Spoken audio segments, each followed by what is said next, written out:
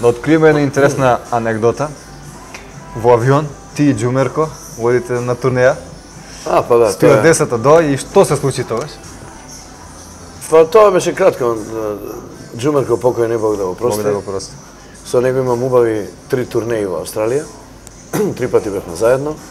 И тоа беа урнебесни смешки доживувања со него затоа што тој беше една феноменална личност, полн со хумор цело време.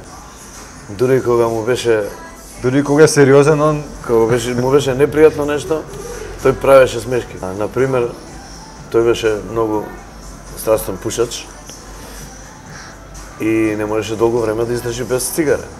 А ние имавме лет со Japan Japan Airlines а, за Австралија, не знам од каде. И со саати летаме, а тој сака да пуши запали цигара.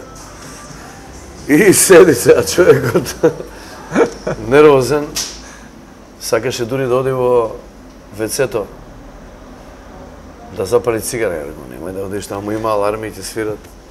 И тој така седеше и дојде стюардесата јапонка и Джумерко, како што си го дал Господ, и вика, Снао, ела вамо. И дојде стюардесата, Yes, please. Yes, please. И тој вика, Снао, речи му на шоферон да го запри авионо, ја ќе слезам. И така, жената ре- рече, што е, Се чуди. Уживај. Се ќе биде окей. И така, не се имаше уште нормално. а, стотици такви смешки. И кога друга една турнеја, последната мислам, што одевме, а, тогаш беше актуелна една некоја зараза SARS. И во Банкок ни дадоа маски. И маски, сите со маски одевме, нели, да не се заразиме. Да. А на враќање веќе не беше толку актуелно, помина модата со тоа SARS. И никој не носеше маски, така и ние.